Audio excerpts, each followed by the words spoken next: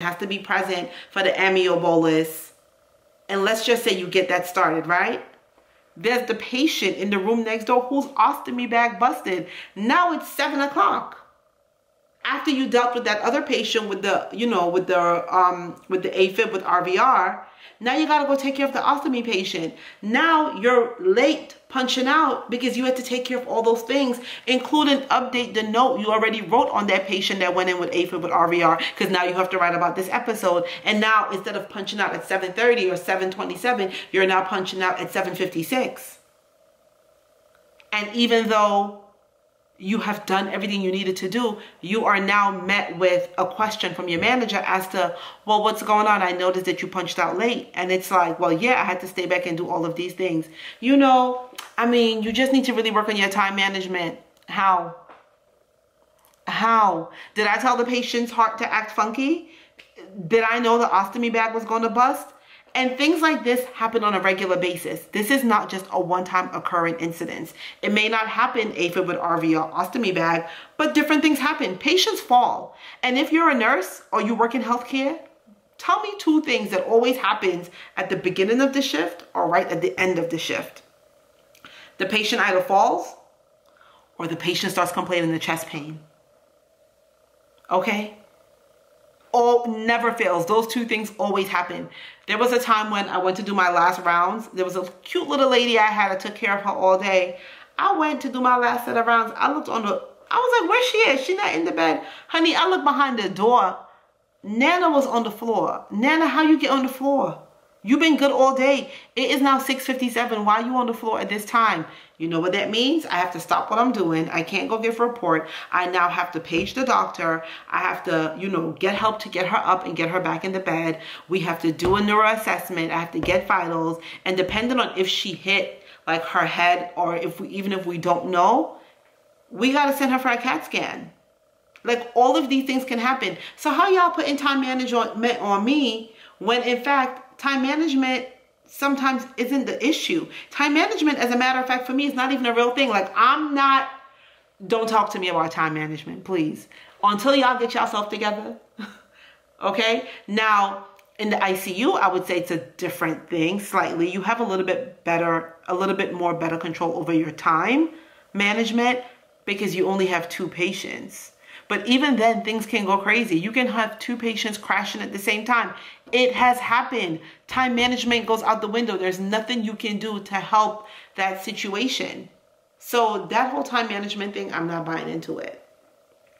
The other ways hospitals be gaslighting nurses is when they're short-staffed, sometimes intentionally, they always want for nurses to not tell the patients and the family members that we're short-staffed.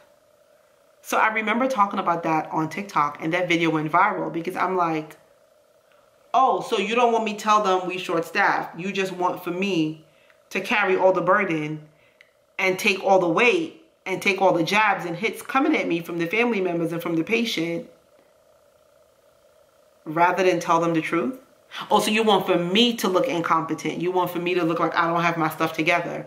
You want for me to look as if I'm taking a long time to come in and assist this patient getting changed or getting their medication or stopping the IV from beeping.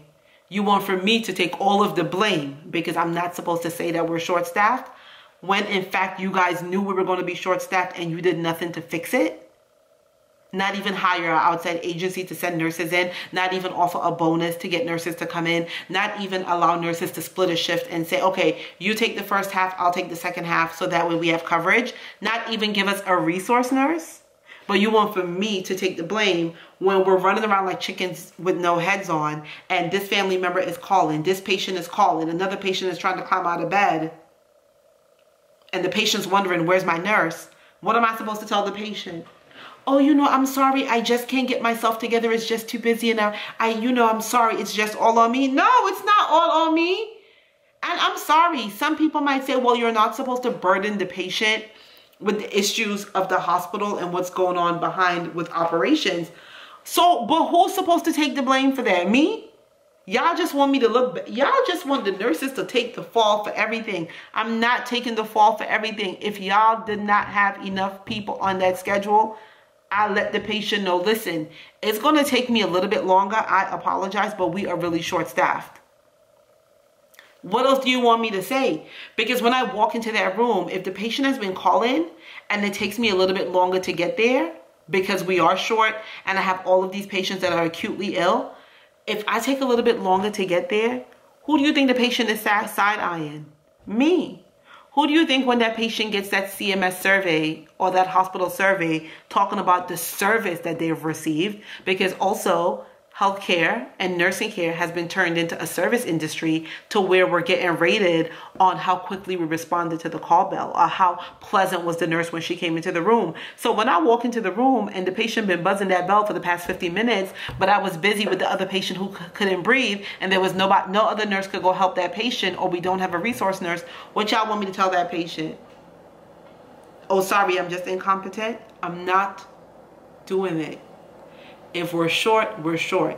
Everybody gonna know. And if you are watching this, if you are a patient that has experienced that, if you're a family member who's had a loved one in the hospital experiencing that, y'all need to call y'all state representative.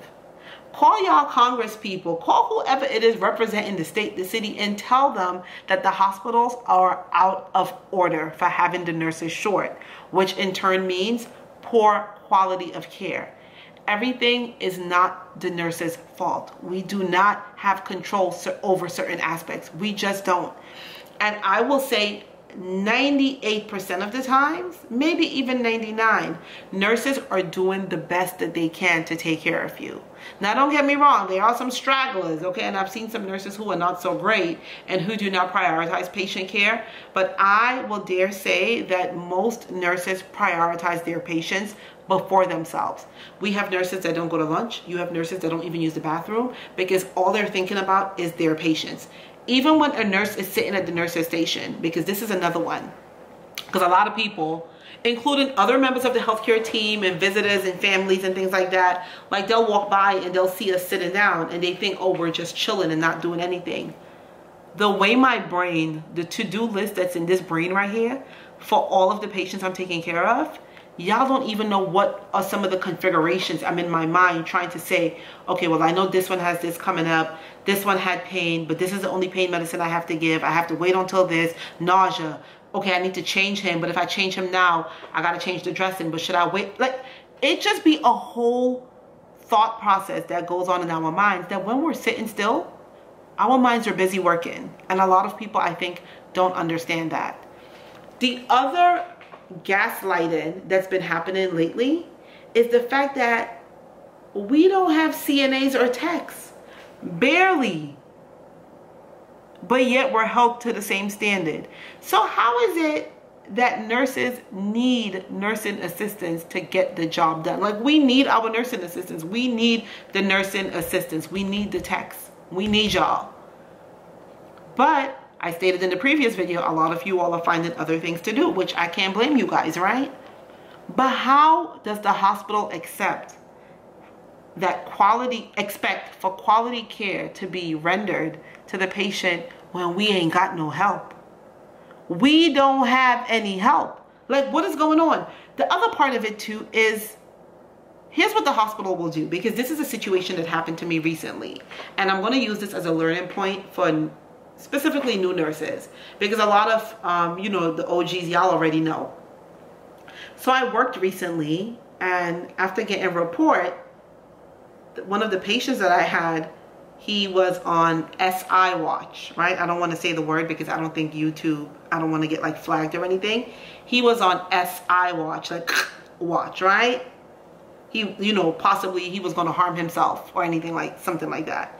So I get report on the patient. Day shift gives me report because remember I'm working nights.